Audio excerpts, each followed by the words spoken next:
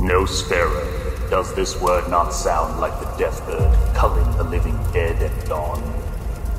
It is the name both ghouls and demons dare not say, for they know it means death for the undead.